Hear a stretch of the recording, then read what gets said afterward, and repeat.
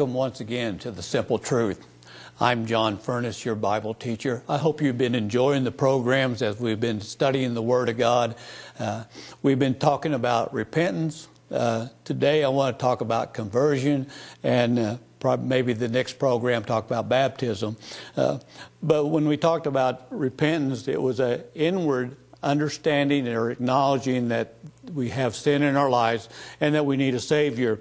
Uh, I summed it up is that uh, repentance is not forgiveness, but it's a condition or, or puts you in a place to ask for forgiveness, which then leads to salvation. Where conversion is kind of the other side of that. It's the, the more the physical side of turning, uh, changing your conduct. And uh, the scripture I want to start with today is in Acts 3, uh, verse 19, and it reads, Repent therefore and be converted, that your sins may be blotted out, so that the time of refreshing may come from the presence of the Lord, and that he may send Jesus Christ, who was preached to you before whom heaven must receive until the time of the restoration of all things, which God has spoken by the mouth of his holy prophets since the world began.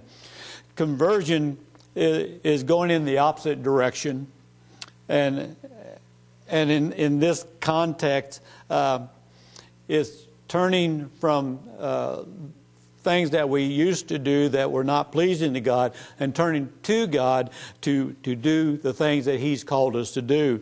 Um, I'm going to read you a few scriptures that, that um, kind of brings this out in, the Old Testament so that you know that conversion was also in the Old Testament. It's not just a New Testament uh, uh, concept. Uh, in Deuteronomy 30:10, uh, it says, "Turn unto the Lord with all your thine heart and with all thy soul." Um, here again, you know, we, we, there has to be a turning. There has to be a change of, of, of thoughts and a change of actions. Uh, 2 Kings uh, 17, 13. Turn from your evil ways and keep my commandments. Here again, it's not only turning away from evil, but also keeping the commandments that God has set out for, for us to live by uh, and the love of God that, to show uh, unto other people in our action and our daily living. In Second Chronicles 7:14 it says, "Humble ourselves and pray and seek my face and turn from thy evil ways." Here's here's uh, again we need to uh, put our place in in not in importance but but lower ourselves so that God is the most important. We need to continue to pray. That's one of the main things that that we always need. Um, uh, is a constant prayer life that we can reach out and touch others. That's so important. It's maybe one of the most important things that we can do every day, and all of us can do that. And so keep things in prayer. We're to seek the face of the Lord. We keep in our prayer. It's it's it's seeking after Him and reading His Word, and then the physical part of this is turn from the evil. Uh, in uh, Ezekiel 4 6, it says, Repent and turn from your idols, from all your abominations. Now, in the Old Testament, the idols they talked about were made of gold and silver and, and wood. Uh, you may remember that the Israelites, when Moses was up on the mountain, uh, receiving the Ten Commandments that they made a golden calf, an idol. Well, today we don't seem to have idols like that in our lives, but we do have idols that we need to be contending with. Uh, let's face it, we have musicians that we call teen idols, you know. Uh, uh, stars that are idol, uh, anything that we put more importance in than anything else is can become an island. Uh, a job become an idol to you. Uh, even uh, a wife or a husband can become an idol to you if you uh, adore them so much that they, they can't do any wrong.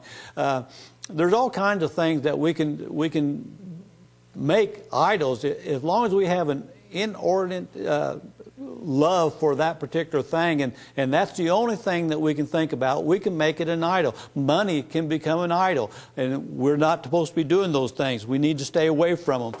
Uh, and now, all these things that I've just read you, uh, these are also assurances of God's grace when we turn to Him.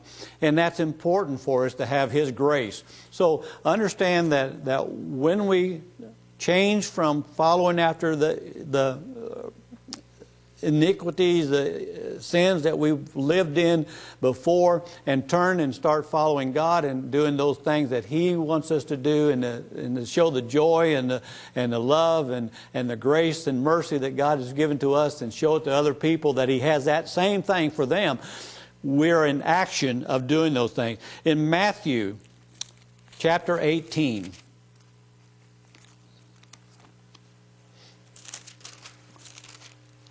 chapter 18 of Matthew, and I want to look at verses 1 through 5.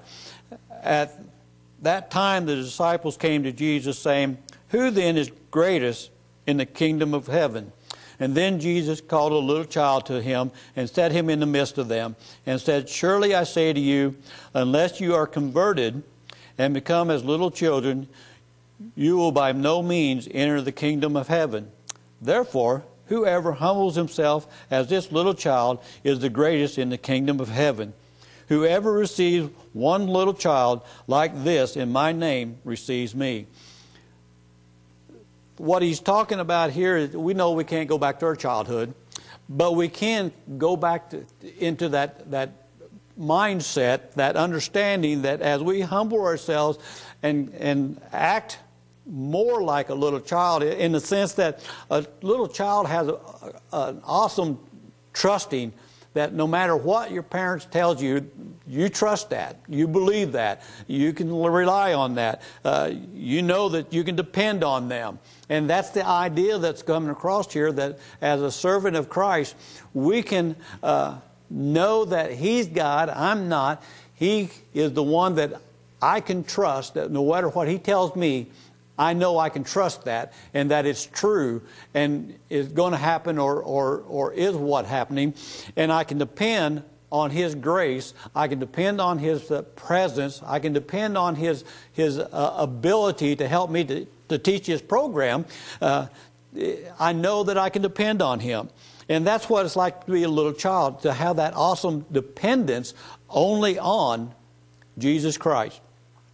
Now, in chapter 13 of John, the Apostle John, uh, chapter 13,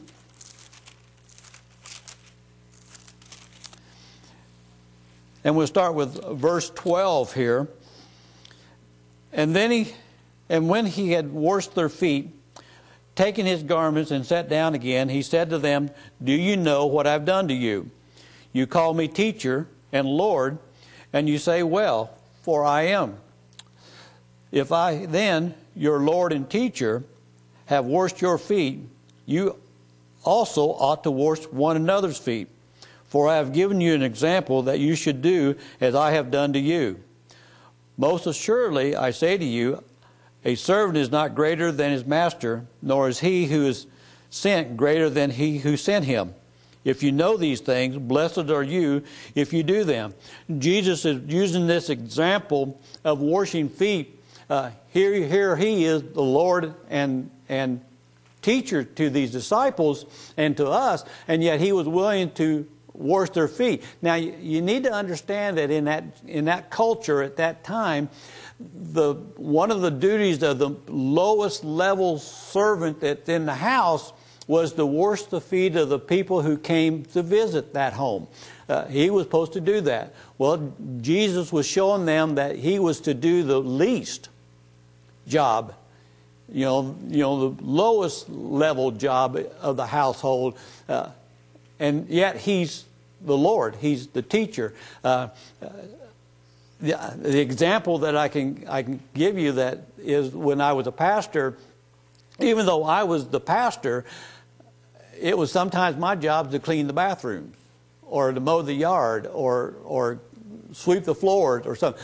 And it needs to be understood that just because I may have a, a higher rank of everyone else in, in a position wise, uh, I still need to be the humble and, and know that I don't get what I call the big head and become somebody that, that is more important than anybody else because I'm not. And that's the idea that Jesus is getting across. Even though he has this title, even though he is Lord, he still needs to humble himself to do the least job so that he's not above, as in uh, expressing needs above everyone else. Uh, there needs to be that change, that part of the change of the heart that comes on here. Um, let's go look at Mark 4.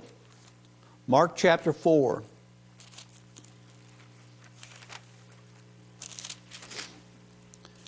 And I want to look at starting with verse 10.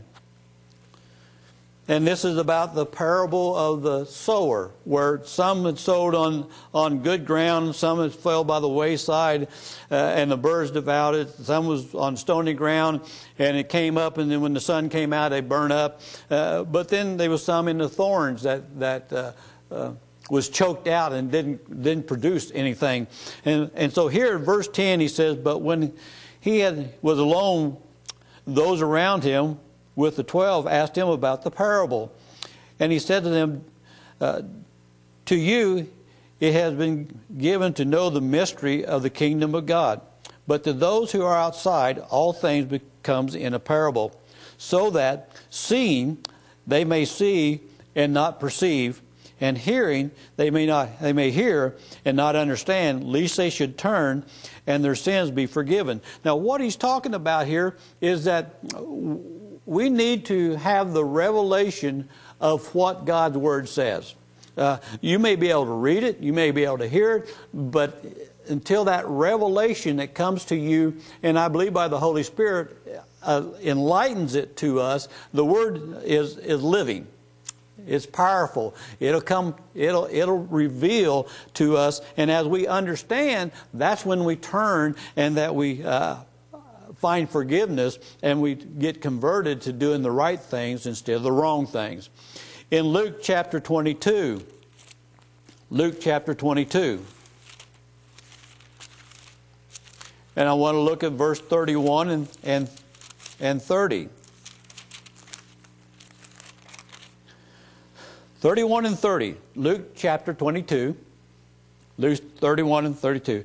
And the Lord said, Simon, Simon, indeed Satan has asked for you that he may sift you as wheat. But I have prayed for you that your faith should not fail, and when you have returned to me, strengthen your brethren. Now, here uh, uh, Jesus is prophesying to Peter that, that the enemy, he wants to test him, he wants to put him in a trial. And Jesus is telling him that. Uh, his faith should not fail. Well, wait a minute. He denied Christ for three times. Uh, we understand that from, from the Word, uh, that he denied him three times. But we need to understand that his actions of denying wasn't a, a complete loss of faith. He still had faith in Christ, but he had the weakness of the flesh that denied Christ. And so when he realized that he had, had denied Christ and that he had sinned against Christ, that he then repented and salvation, and as you know uh, from past uh, studies, that, that Jesus came to him and, and said, If you love me, feed my sheep. What he was saying is, if you've repented and you love me, then this is what I'm commissioning you to do, and that is to teach and nourish and encourage those people that, that you meet, your brethren. So he, that's one thing that he's, he's doing there. He's uh, encouraging him, knowing that there's times, we all have times where we miss the target, we fail, uh, we don't do what we're supposed to do, but there's always forgiveness. When we turn and change our ways, we turn and ask for forgiveness, that God is always there and He is faithful and true to, to uh, accept us back. Uh, James chapter 5.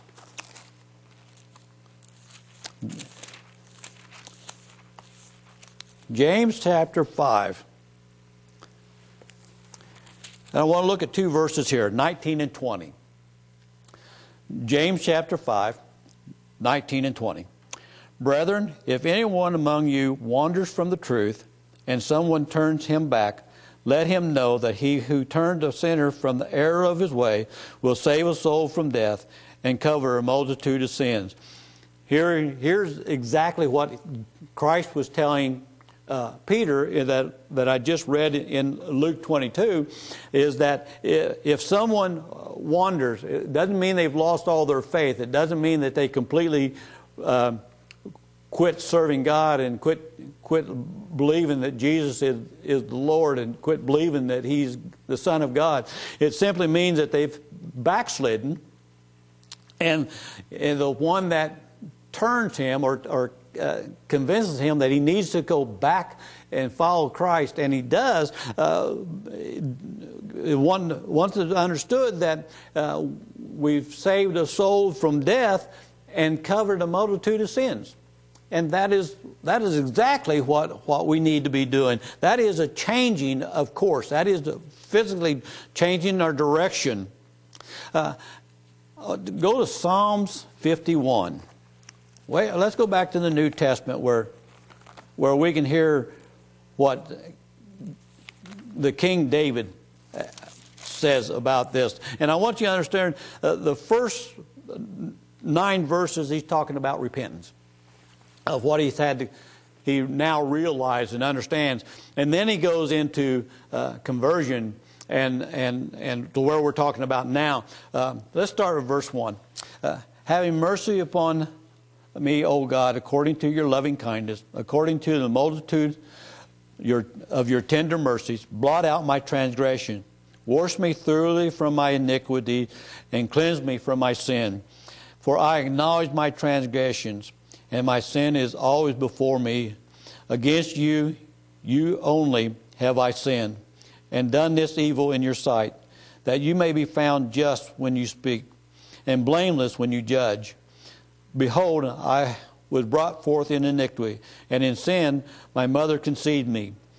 Behold, you desire truth in the inward parts, and in the hidden parts you will make me to know wisdom.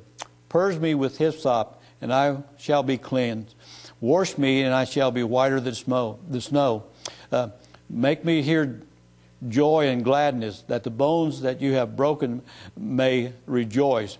Uh, hide your face from my sins and blot out all my iniquity. Here we see David is, is into a repentance mode, and um, this Psalms is, is, was written, we think, right after Nathan the prophet had, had uh, confronted David about his sin in his life, and he's going into repentance of knowing that he's done and, and praying for forgiveness in this. And then in verse 10, he says, Create in me a new heart, O God and renew the steadfast spirit within me.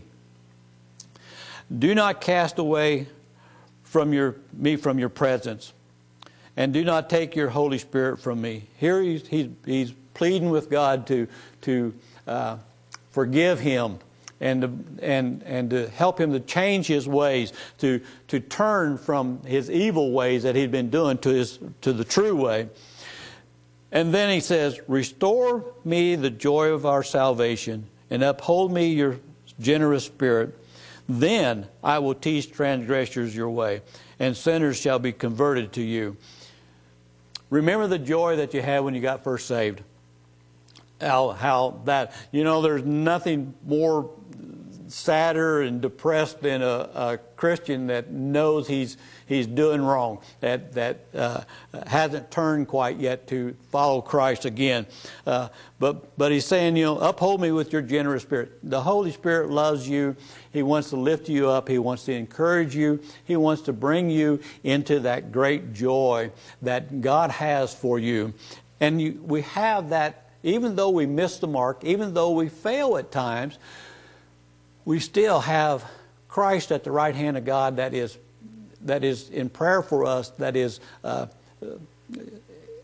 telling the Father that this one's mine and I want to, he's going to turn and, help him turn. And then after that, look what David says in 13 I will teach transgressors their way. When we have had victory over a a problem in our life, whatever it might be. It could be drinking, it could be cussing, it could be drugs. Use that uh, not as a debt to your life anymore, but to a positive. Uh, so that you can help someone else to overcome as you have overcome. These are, this is the idea behind that. So that sinner could be converted and be saved and have the love towards God that you have. The last thing that I want to talk, I'm going to read it out of the Old King James, and that is Ezekiel chapter 11. And it starts with verse 11, or 20, I'm sorry. It's chapter 11, verse 20. Uh, that they may walk in my statutes and keep my ordinance and do them. And they shall be my people, and I will be their God. There's four blessings in this one verse.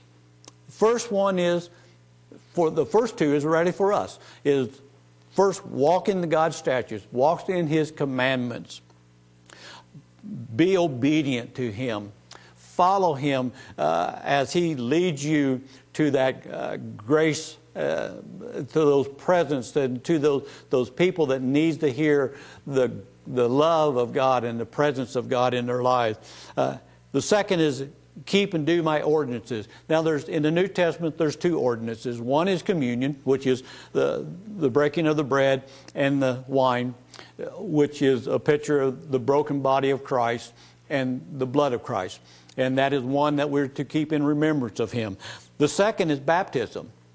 And baptism is uh, following the Lord in baptism simply means uh, to believe that He is the Son of God, to accept Him as your Savior, uh, to be uh, baptized, to be dipped under the water, I believe, uh, is immersion, and uh, is showing the death of Christ and the res- and then coming up out of the water, the resurrection of new life, and that is a uh, show to the people around you that He is God and that you believe all that has been said about this and that, that you are following Him in this matter to, to know that now I want you to know that I'm a Christian.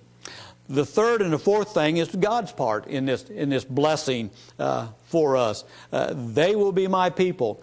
If we will turn to God, we ask for forgiveness, we receive, be saved. Uh, we follow His commandments. We follow His, his uh, uh, ordinance that He's set up for us. he says, God says, You're mine. And isn't it great to know that God is saying, You're mine? And it's not just, you know, I think maybe I am, but I'm not sure. It is a fact that there's no ifs, ands, buts, whatever else you want to put in there as a, as a maybe. Uh, he's yours and you're His. And then the fourth is, I will be their God. Isn't it great to know that God wants to be our God? That God wants you and I to follow Him.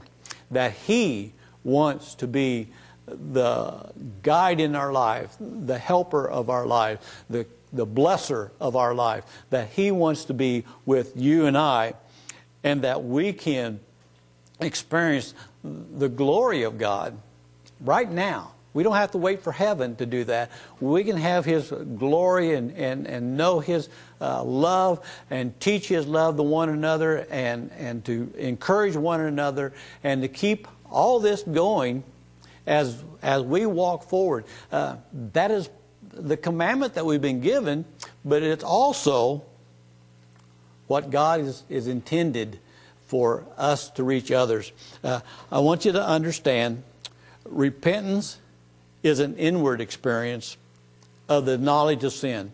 Uh, repentance, as I've, I've, told you in the past, is not forgiveness. It only brings us to that place where we can have re, uh, forgiveness and know that it's there for us and, and have that revelation.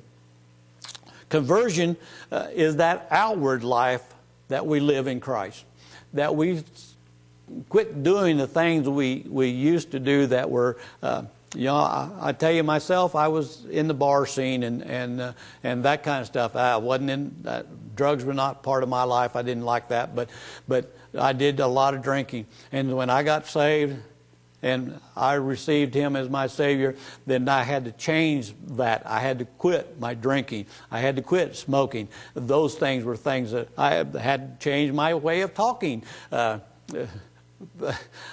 so uh, I had to do all those things, not because I really had to, but because the love of God was in me and I wanted to please Him and I wanted to be more like Jesus than like the old John. I wanted to be that new creature that we, that talked about in uh, uh, one of the Corinthians uh, letters.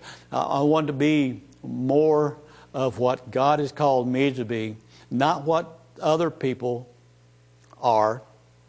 You know, I, I can't be anyone else but myself. I can only be me, and, and I need to be what God has called me to do and to follow after Him as He has a desire for me to do. Uh, so, as you are thinking about these things, know that God is, is the insurance that of His grace to us. Know that He wants us to be His people. Know that He wants to be our God. Know that He loves us that much and that He has the grace for us and that we are uh, for Him and need to be about Him. As we close in prayer, I pray that these lessons have been an encouragement to you. I hope it has uh, enlightened you and been revelation to you. I pray that, that you have uh, turned your life from, from what you have been doing to a love towards God, for a love towards other people, and a desire to be a be helping other people instead of hurting them. I pray that, that you will find blessings that will come your way from turning to God, and that those blessings, uh, I believe, are to be blessings that are to be shared with others. Encourage one another, as, as Christ told Peter to do. Strengthen the brethren, and that's how we do that, is by encourage them. Uh, telling them of things that God has done in our lives, telling them that we, we uh, have overcome uh, some uh, problem that was in our life. It's not going to be without problems. We're all going to have problems, but it's how we react to them. And I want you to understand that through Christ, we can go through anything and everything. May God bless you so richly. May He lift you up. May He open your eyes to, to revelations that uh, about your own life. Let the Holy Spirit guide you, lead you and help you to do the things that need to be done so that you can be an encourager of brethren, an encourager of those that are around you, an encourager for all, no matter who they are. And we give you the grace. We ask for the praise. We ask you to God bless you. We ask that you be healed. We ask that you know Jesus more and more each day. God bless you. Amen.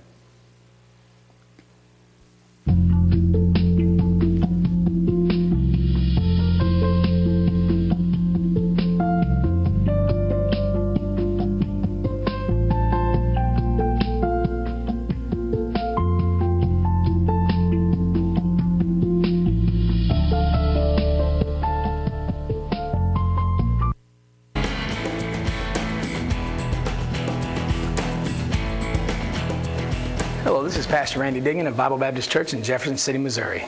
I have four kids. And you know what I hear a lot when they like something? They say, again, again. Well, 1 Thessalonians chapter 5 says, rejoice evermore.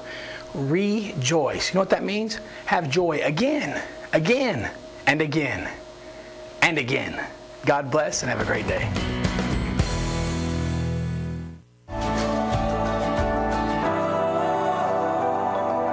Hi, I'm Monica Schmelter. I want to welcome you to Bridges. And I realized that I'd been a part of an industry that was giving hope to people who felt hopeless.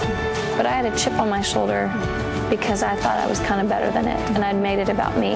You know, longer married doesn't always equal a better marriage. You have to fight for a, a good marriage. And I realized at that moment, oh my gosh, I'm homeless. Mm.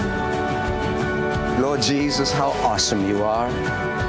Thank you for this wonderful day, this program, touching, reaching lives. Weeping may remain for a night, but joy will come in the morning. That's right. But we can trust that God has a better plan